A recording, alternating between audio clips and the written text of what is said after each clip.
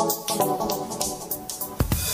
morning, greetings, friends, and welcome to The Bright Side, your nutritional program dedicated to the understanding of the vast world of nutrition and nutritional supplementation. I'm your host, Pharmacist Ben, nutritional pharmacist from Boulder, Colorado. I use nutritional supplements where other healthcare practitioners use toxic pharmaceutical drugs and sometimes deadly medical procedures if you suspect that there are natural nutritional roads to your vitality and health and well being and to addressing your health challenges, whatever they may be. But you don't know where to begin, you have come to the right place. As you listen to the bright side every day, you are more and more in control of your body, you are more and more knowledgeable, and you know you can overcome any health challenge. That's why we are here every day on the bright side, helping clear up the sometimes confusing world of nutrition and nutritional supplementation.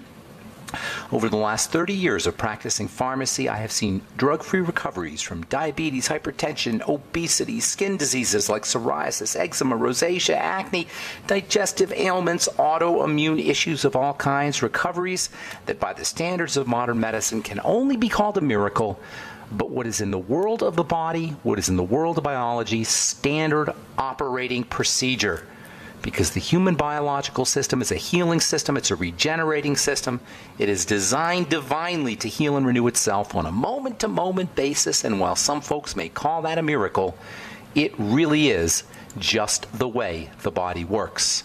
If you have questions about health and nutrition or prescription drugs, if you want to wean yourself off your meds and get on a good nutritional supplement program, we can help you. 844 236 6010 is our number. We want to be your go to nutritional source for good, clean, clear, concise, succinct, easy to understand nutritional and health information. 844 236 6010 is our number on the bright side. If you have a comment or success story you'd like to share, 844 236 6010 is our number. If you have questions about the longevity products, longevity business, formulations, ingredients, skin health questions, 844 236 6010 is our number on the bright side. If you want to purchase any of the longevity products you hear advertised or recommended on the bright side, you can call the Brightside Ben phone team at 866 735 2470. You can also head to brightsideben.com, criticalhealthnews.com, or pharmacistben.com and order longevity products right off the website. Make sure you take a look at our Beyond Tangy Tangerine nutritional powder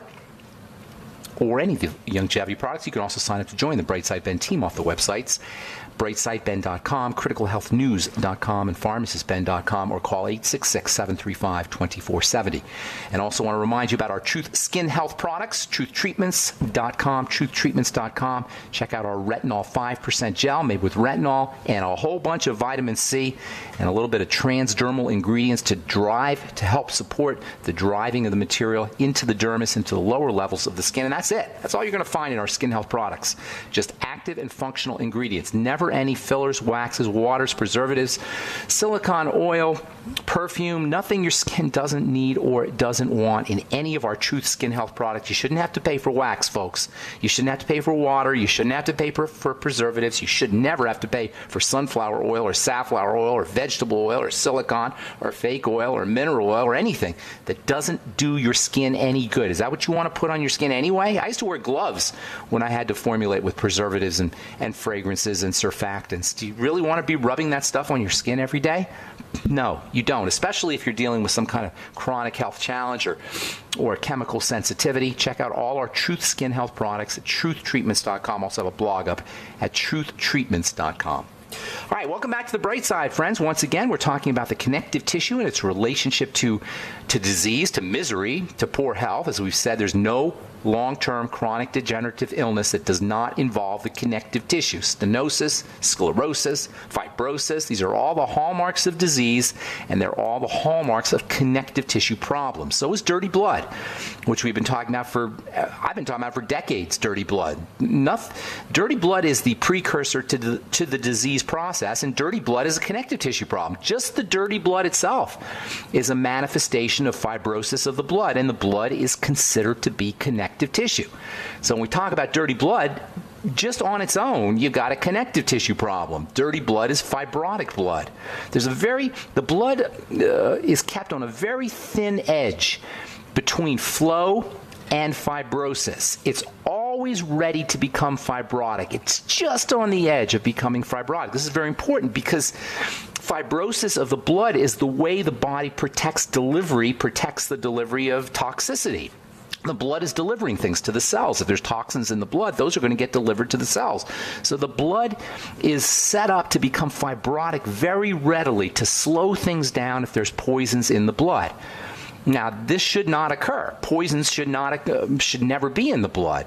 So this is not throughout history, throughout our evolutionary history, that wasn't a problem. It's only been the last few hundred years, really maybe the last thousand years or so, but at an accelerated pace the last 200 years and at a super accelerated pace the last 50 years or even 25 years, as our ability to process food has become so technologically advanced, we've created a food supply that the blood doesn't know what to do with, that the body doesn't know what to do with. We've created a food supply and a nutritional deficiency crisis that has led to things like leaky gut syndrome. Leaky gut syndrome is when stuff gets into the blood inappropriately through the intestine. This sets off a whole cascade, a domino effect where uh, leak um, toxins leak into the blood. The blood becomes fibrotic. The fibrosis and the and the blood uh, and the toxins that are into the in the blood get dumped off into the connective tissue. An immune reaction is mounted in the connective tissue, and this results in pain and degeneration. The pain and degeneration that millions upon millions of Americans and people around the world are dealing with unnecessarily. Yesterday, we talked about a health condition that's caused by toxic connective tissue that is responsible for severe misery, unbelievable misery, suicide inducing misery, the kind of misery where you want to just kill yourself, and some people do. It's called fibromyalgia. Six million, five or six million Americans have it diagnosed, and probably millions more have it undiagnosed. Fibromyalgia is never ending pain, chronic pain from head to toe, numbness, neuropathies, insomnia, not to mention depression, and just plain old feeling lousy. Fibromyalgia is associated with weight issues, it's associated with messed up blood sugar, it's associated with autoimmune problems, lupus, rheumatoid arthritis, other types of arthritis. There may also be a risk for heart disease, according to an article published in the Journal of the uh, Public Library of Science, September 2015. Fibromyalgia patients have an independent risk for, for cardiovascular disease. If there's other illnesses, this becomes a quote, significantly elevated risk. Fibromyalgia patients may be at high risk for cancer. According to Dr. Gary McFarland, speaking in 2004 at the annual European Congress of Rheumatology, quote, patients with fibromyalgia and other forms of widespread chronic body pain may be at subsequent increased risk for cancer, unquote. Based on Dr. McFarland's studies, he says, uh, the cancer risk was found in specific cancers, and there's a very important clue here. Breast cancer was approximately four times more common in women who had reported fibromyalgia than those without.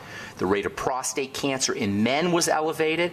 Colon cancer was increased in both sexes. And the fact that these specific cancers were increased reveals a very important clue about what is occurring inside the body of a fibromyalgia patient. Doctors will tell you, oh, we don't know what causes fibromyalgia. You, it's all in your head.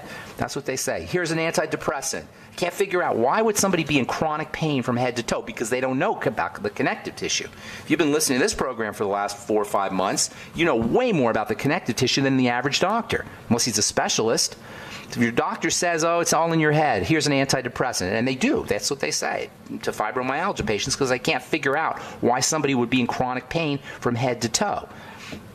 What they should say is, is we don't really understand and we don't know, but biochemists know what, what's going on. And that's why I always say if you're sick, you want to go find a biochemist. You want to find somebody who understands biochemistry, not clinical chemistry. This notion of going to a doctor is a meme, a myth, a, a mind virus that does not serve human beings. This idea of going to a doctor when you're dealing with a chronic health issue does not help anybody but the doctor's bottom line.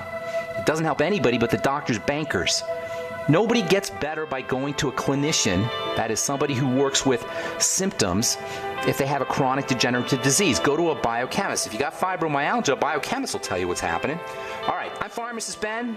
We'll continue this when we come back from our break. 844 236 6010 is our number on the bright side. We will return.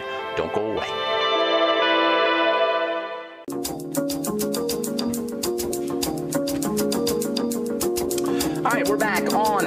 Bright side. Pharmacist Ben here, 844 236 6010 is our number, and we do have empty lines here. All empty lines, actually. If you've ever tried to call us and gotten a busy signal, now's the time to get on board. Try to call in early so we can get to as many calls as possible at 844 236 6010. If you want to purchase any of the longevity products you hear advertised or recommended on the program, our Healthy Start Pack, Beyond Tangy Tangerine, Nightly Essence Probiotics, and we're going to talk about probiotics and their importance for uh, helping deal with fibromyalgia and other connective tissue health challenges. Everybody needs a good probiotic supplement, and the best one I've found is the Nightly Essence. I personally know the guy who makes it, I personally know the guy who formulated the product. The Nightly Essence. It also, uh, he formulated it, my, my, buddy Troy, formulated it with. With not just a broad spectrum of good bacteria, but also with digestive enzymes. And not just digestive enzymes, but also a very important enzyme called nattokinase.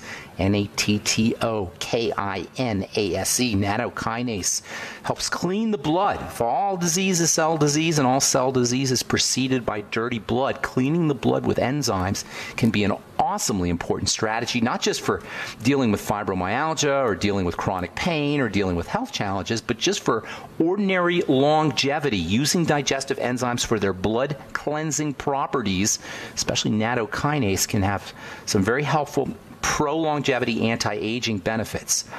So you don't have to have a digestive health challenge to be to uh, benefit from digestive enzymes or from probiotics or from digestive health strategies for any from anything we're talking about here today. I don't want anybody to believe that you if you're feeling healthy that these ideas that we talk about every day on the bright side are not valuable to you. Yes, they're very valuable. You don't have to be sick to benefit from them. These, these can be valuable, uh, valuable strategies for preventing sickness, for anti-aging, for slowing down the aging process, for health, for just for beauty and appearance. Taking care of our health is the best beauty strategy, the best appearance strategy you can employ. I get really uh, I get irritated when I hear people talking about using rubbing a cream on your skin in order to get rid of wrinkles because the cream has some kind of magical herb in it. There's a multi-level company that uses a magical herb from marigold. I'm not even going to mention the name. Well, I will mention the name. Nerium. What a what a bunch of crap that is. You're going to rub Nerium on your skin and your wrinkles will go away. That's the this is the idea, this is the, the logic that is perpetuated in the mainstream that you can rub something on your skin and your wrinkles will disappear.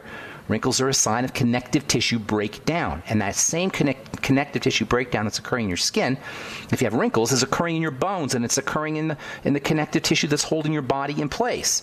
And if you think that rubbing a cream on your skin that comes from marigold is going to get rid of your is going to get rid of your wrinkles, you might as well just rub a cream on your bones to get rid of your osteoporosis. Obviously, nobody would ever do that anyway. You can find out all about our longevity products at uh, at criticalhealthnews.com, pharmacistben.com, or brightsideben.com. You can also call the phone team at 866 735 2470. All right. So we're talking fibromyalgia as a connective tissue disease. It is a connective tissue disease, despite the fact that doctors are mystified how it is that you have fibromyalgia. How can somebody be in pain from head to toe? You must be depressed, so here's an antidepressant. It's all in your head. It is not all in your head, and you don't need an antidepressant. It's all in your blood, where all health challenges are. So, what is it that colon cancer, prostate cancer, breast cancer have in common? Why would it be that if you have fibromyalgia, these specific cancers would be elevated? Well, it turns out that colon cancer, prostate cancer, breast cancer, fibromyalgia cancer all involve the female hormone estrogen. And we know that fibromyalgia patients are mostly women. Whenever a disease state, a, a disease state affects mostly females, and significantly mostly females, like eight or nine times as many women have fibromyalgia as men. Same with autoimmune disease, same with Alzheimer's disease, same with hypothyroidism. These are all estrogen based. And that tells you something. Estrogen is a very fascinating substance.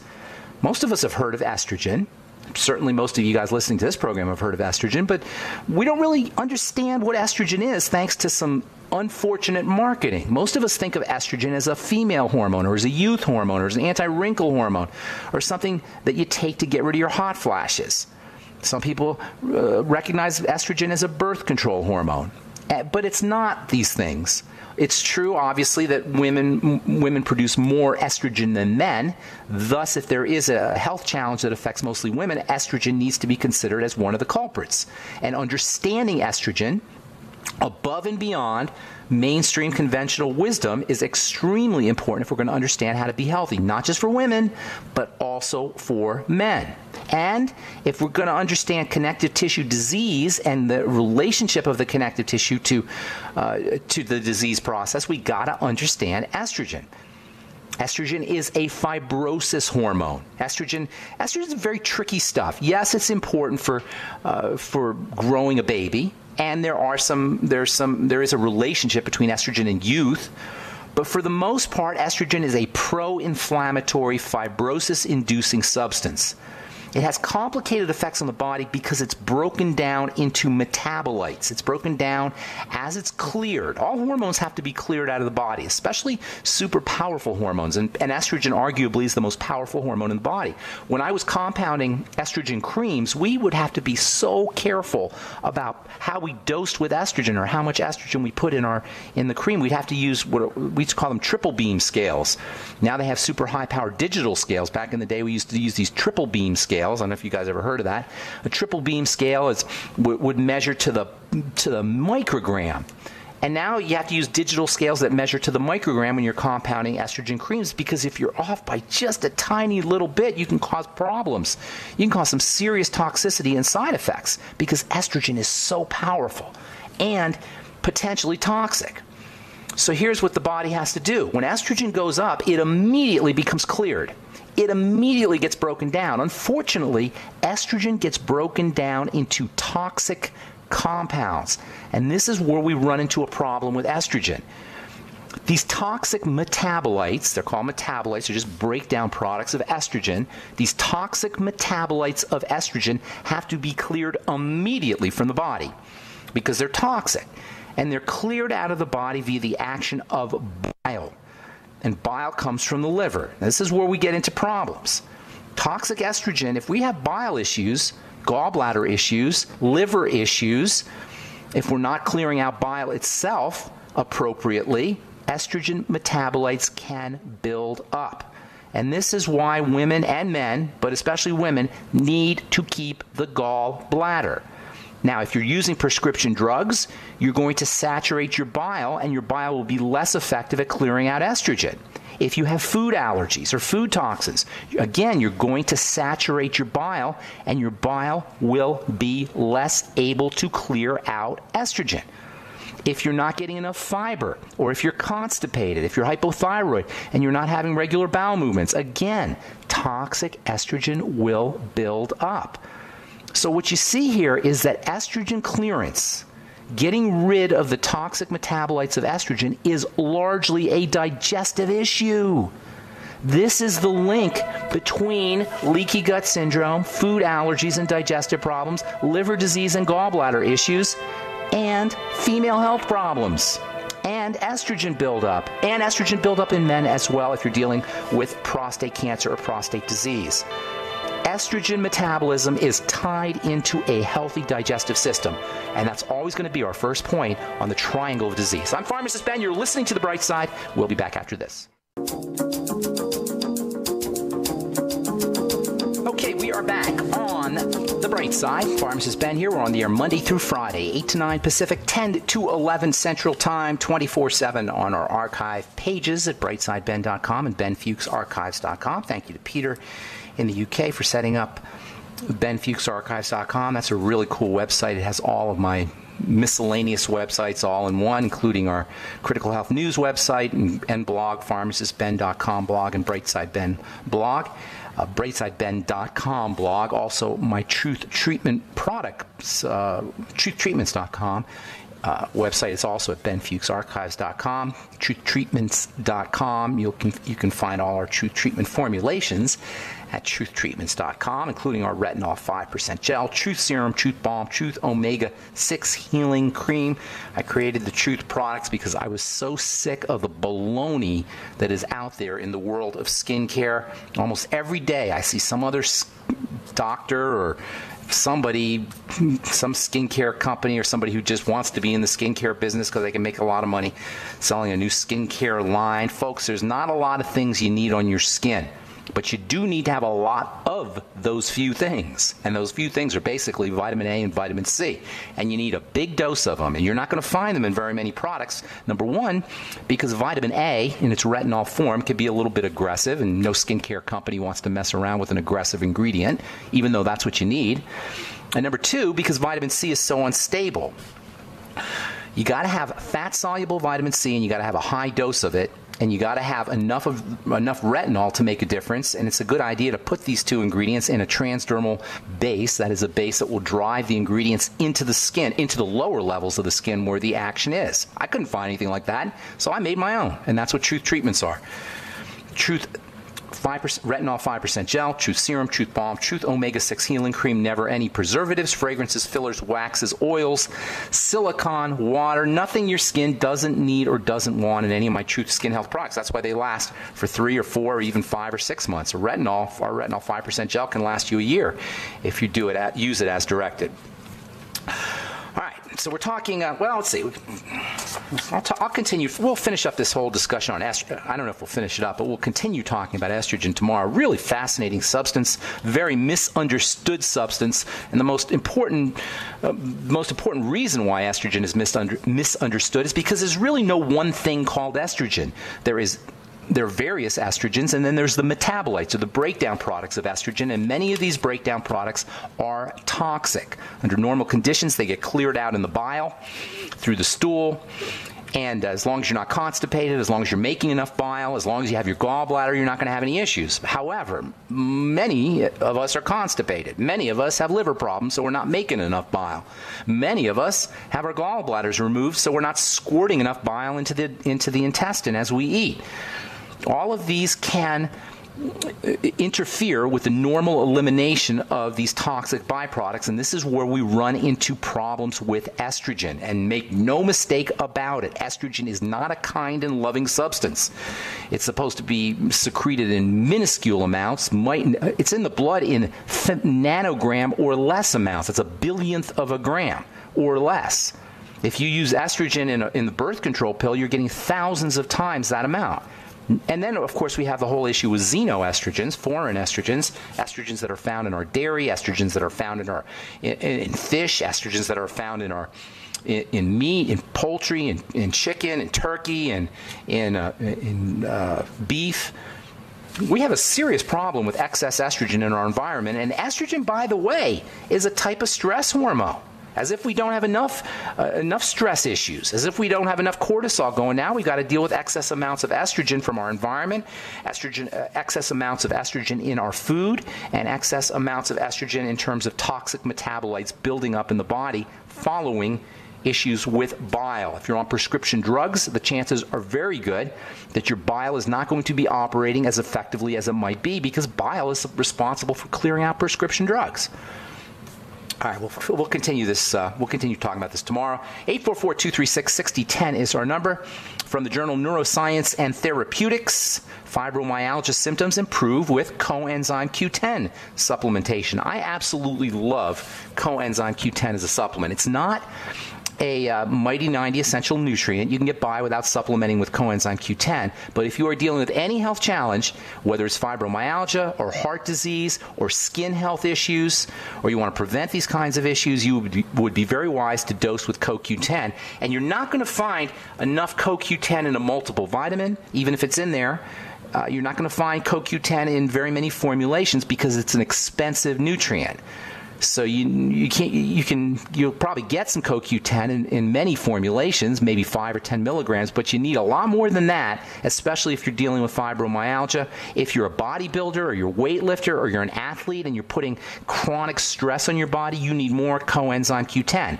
If you've been diagnosed with any mitochondrial myopathy, that's the latest thing that functional medicine folks, not so much conventional doctors, but alternative practitioners and functional medicine practitioners, they're all about the mitochondria mitochondria, which is super important. The mitochondria are, are little energy furnaces that produce, they're the little organelles, little substructures inside of cells that produce energy, and they're super important. You can't really target the mitochondria. And if anybody ever tells you you have a mitochondrial, myop, uh, uh, mitochondrial disease, it's really kind of silly. All diseases are going to involve the mitochondria. Coenzyme Q10 is one of the best supplements you could take for helping support mitochondrial energy production. That is to say, if you're dealing with any health challenge or you don't want to be dealing with a health challenge, get yourself on 50 to 100 milligrams of coenzyme Q10. Take it every day, especially if you're dealing with a health challenge or if you're toxing out your body with cigarette smoke or alcohol or prescription drugs on a regular basis, or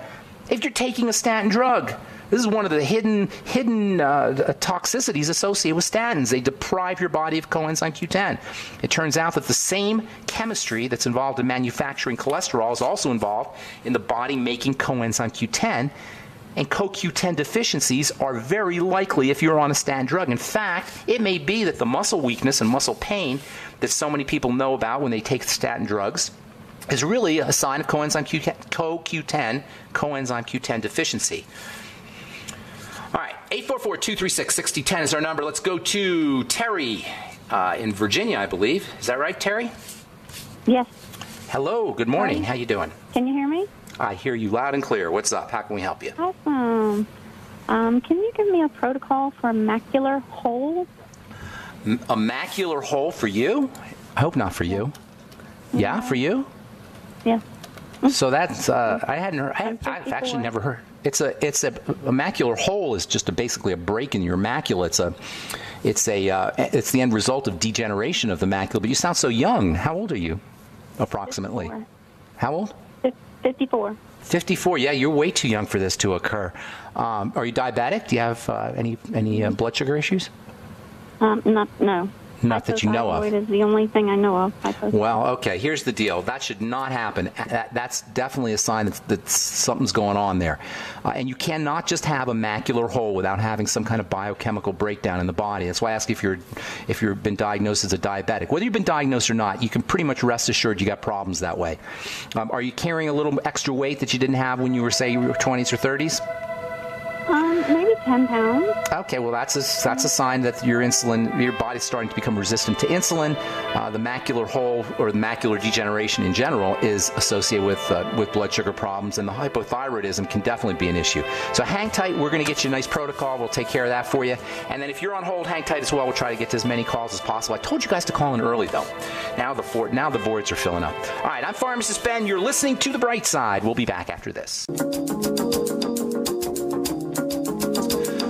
We are back on the bright side. I'm Pharmacist Ben, and we got a full board here. I'm going to try to go real fast. Terry, are you there, ma'am? Yes. I wish I had more time to talk to you because uh, your macular degeneration or the macular hole that you're talking about is it's kind of fascinating. It's actually a it's actually like a type of arthritis of the eye, believe it or not. The way the eye is constructed, the jelly stuff, the jelly material that that makes up what we call the eyeball is actually connected to the back of the eye, the retina, via connective tissue. When that connective tissue shrivels up, it can pull on the uh, on the retinal surface, and it can actually form a can actually create a, a hole or a weakness in the in the macula, and that's what you're dealing with. The connective tissue is shriveling up inside the eye. So what do you got to do? Well, first of all, we got to figure out why that's happening, and that usually involves a digestive health issue. If you don't know it's there, find it, especially if you're hypothyroid. Uh, there's, it's very difficult to have a thyroid issue without having a digestive issue first. So find your digestive health problem. A, a fast and the elimination diet is the way you do that. I'm sure you've, if you've listened to this program before, I'm sure you know what I'm talking about. Uh, you, you do a two or three day SWERO-V cleanse or a complete fast, and then when you start eating again, pick one food at a time, one type of food at a time, and uh, try to assess your digestive health. Uh, look for digestive health issues associated with that, and then eliminate foods that cause problems. Use probiotics, the nightly essence, to help support gut health, digestive enzymes, the ultimate enzymes with all your meals, and apple cider vinegar with all your meals. Get on the Healthy Start Pack, and then start using connective tissue building nutrients such as the glucogel caps, vitamin C. You can't make connective tissue with vitamin C. It's extremely important for the eyes, also, by the way.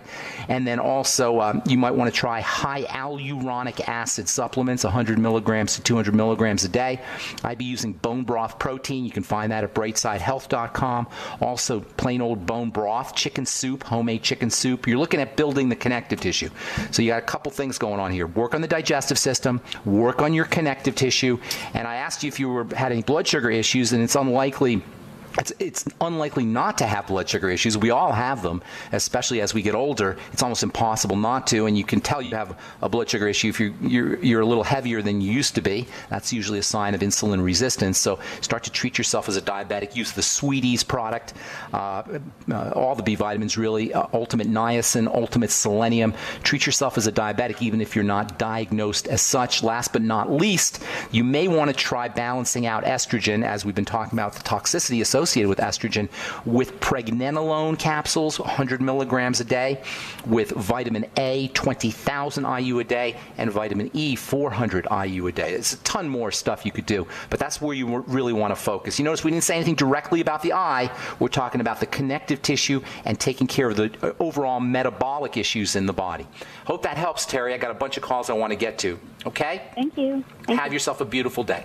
All right, let's move on to. Uh, Let's go to David in Texas. Good morning, David. Yeah, hi. Good morning, Ben.